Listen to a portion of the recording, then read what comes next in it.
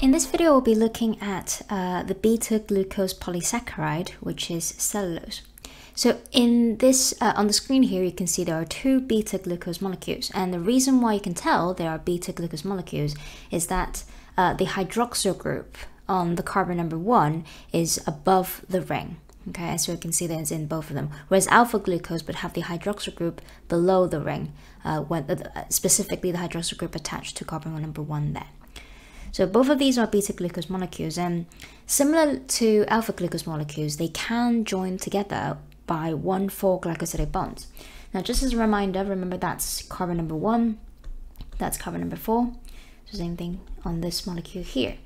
The thing is here you can see is that the hydroxyl group on carbon number 1 here is too far away from the hydroxyl group on carbon number 4 of the other molecule. So basically, this sort of um, the condensation reaction can't really happen between these two because they're just simply too far away. Uh, what the hydroxyl group just can't steal the hydrogen uh, atom from the other hydroxyl group, so the reaction won't actually happen. However, in cellulose, the alternate beta glucose molecule would actually flip upside down. So that's what we call inverted, and it will look a bit like this. Again, we've got carbon number one here and carbon number four there. The hydroxyl group now is a lot closer together, so they can actually uh, do a condensation reaction to form a 1,4 glycosidic bond. So same as before, this hydroxyl group, for example, would steal the hydrogen from the other hydroxyl group, which will then go off to make a water molecule, and then that carbon will then join with uh, the carbon number 1 here will join with that oxygen from carbon number 4 to make a one four glycosidic bond. Then the next one you can see in carbon number 1 of this particular uh, uh, beta glucose, the hydroxyl group is below the ring, and imagine if this uh, this beta glucose is over there as well, the hydroxyl groups are actually close to each other, so they can actually join together again to make another one. So the whole thing, if imagine we got four of them, it would look a bit like this. So here, for example, let's say we've got another um, another beta glucose on that side. So you can see carbon number four here. The hydroxyl group on carbon number four is quite close by, so it can steal the hydroxyl group again. And then same thing here on the other uh, on the other side. This beta glucose on the on the right is again inverted upside down. So same thing happens. Uh, the hydroxyl groups are close to each other, so a condensation reaction will occur. So here they would just be making the water molecules.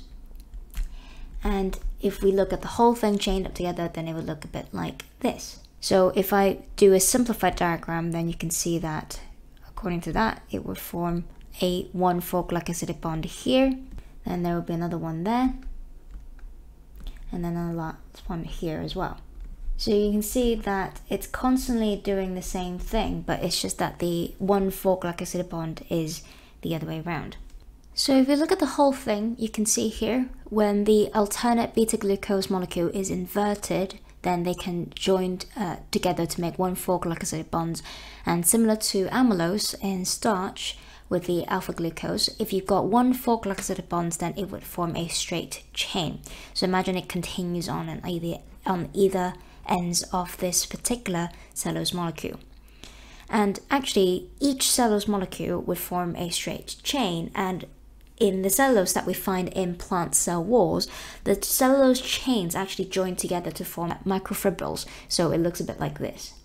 So this diagram here shows how the cellulose chains are joined together with the hydrogen bonds. Now, even though individual hydrogen bonds are very weak, when there's a bunch of them together, they actually can become quite strong.